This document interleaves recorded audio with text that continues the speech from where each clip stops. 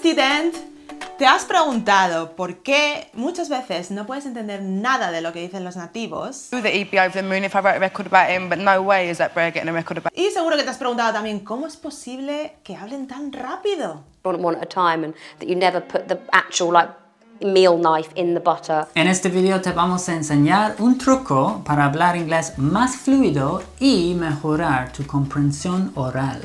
Si además de hablar inglés más rápido, también quieres aprender más rápido, apúntate a nuestro curso gratuito English Print, aquí arriba y en la descripción. Double your English in record time.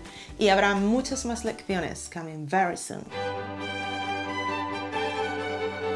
¿Dónde está el truco del almendruco, Philip? Pues en inglés hablamos en unidades de sonido. We use what is known as connected speech or linking. What do you mean exactly que habláis en unidades de sonido? En inglés conectamos las palabras para poder hablar con mayor fluidez. Como por ejemplo, ¿cómo dirías? Mi coche es para todos. My car is for all of us. My car is for all of us. My car is for all of us. Oh yeah, my, my goodness, that's much quicker. This is connected speech. Okay, let's get down to business. Starting with the linking R. What is it? Como ya sabrás, en inglés británico nos encanta no pronunciar las R's. ¿Mm? Doy fe. Profesor en inglés británico, ¿cómo se dice? Teacher. Teacher. Very good. With the schwa at the end. Coche, Car. car. Marinero, Sailor. sailor. Good. No R. Fiesta, Party. party. Not party. Party. No hay ni rastro de las R's aquí. Ok, entonces, ¿qué diablos es esto del linking R? What on earth is the linking R? Ok, ok. The linking R es la R que une. Cuando una palabra acaba en una R muda y la palabra siguiente empieza con un sonido vocálico, entonces sí pronunciamos esa R porque nos ayuda a enlazar las palabras y hablar con mayor fluidez. ¿Cómo dirías, Isabel? Mi profesor es muy guapo. Ah, so typical. My teacher is... My teacher is very handsome. That's it. That's it. So, en vez de decir my teacher is, a is, a is, we say my teacher is, my teacher is, riz, riz, okay? My teacher is very handsome. Thank you. Básicamente, no nos gusta dejar ese hueco entre los dos sonidos vocálicos, ¿ok? No nos gusta a is. Preferimos a is, a is. ¿Cómo se dice nunca en inglés? Never. Never. Nunca más, Never again. never again or never again. never again, never again. Voy a decir unas frases sin usar connected speech y tú tienes que intentar decirlas como un nativo usando the linking R, ¿ok? Let's go. Vivieron felices y comieron perdices. Uh, perdices? They lived happily and they ate partridges. No, they lived happily ever after. They lived happily ever after. They lived happily ever after. That flows better, doesn't it? That's it. Pon la cerveza en la mesa. Put the beer on the table. Beer, beer on the table. The beer on the table. Put the beer on the table. Put the beer on the table. Exactly. Put the beer on the table. Beer on, beer on, beer on the table. Necesitamos harina y agua. We need flour and water. We need flour and flour and water. Flour and water. We need flour and water. That's it. Flour and flour and. Yes, flour and water. Flour and water. El bar abre a las cuatro. The bar opens at four o'clock. The bar opens at four o'clock. Four o'clock. The bar opens at four o'clock. That's it. Ropens, o'clock. The bar opens at 4 o'clock. El actor se comió una pera en el escenario. The actor ate a pear on the stage.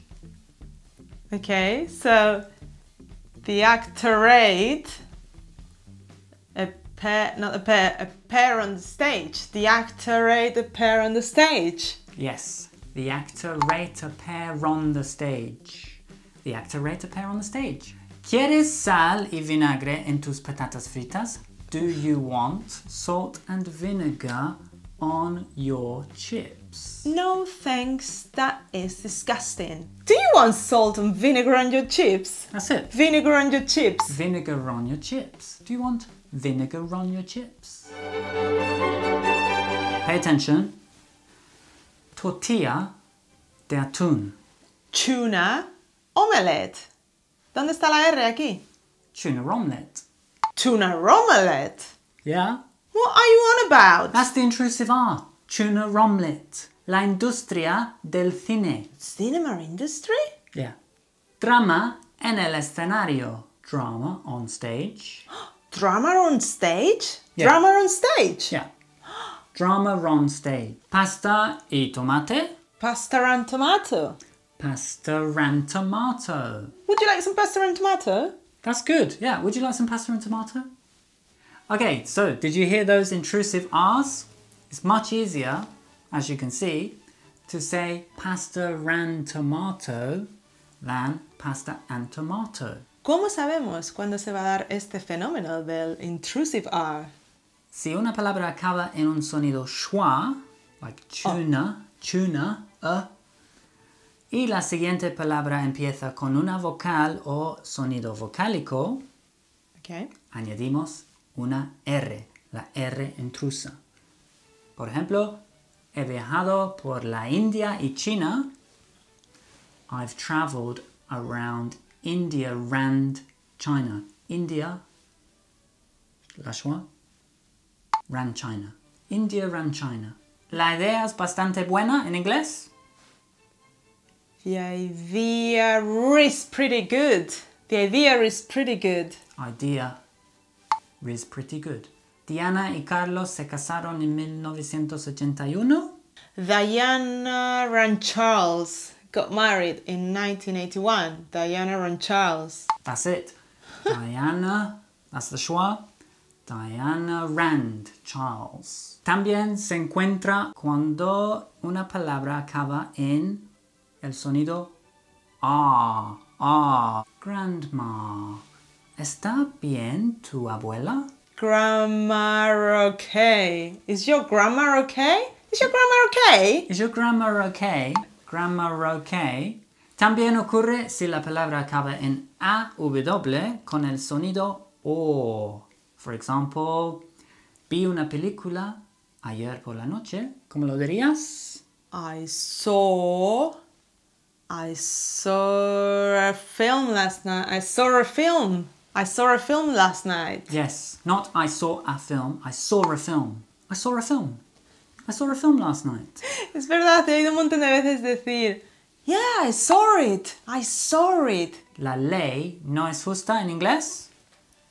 The law, the law isn't fair. The law isn't fair. The law isn't fair. The law isn't fair. The law isn't fair.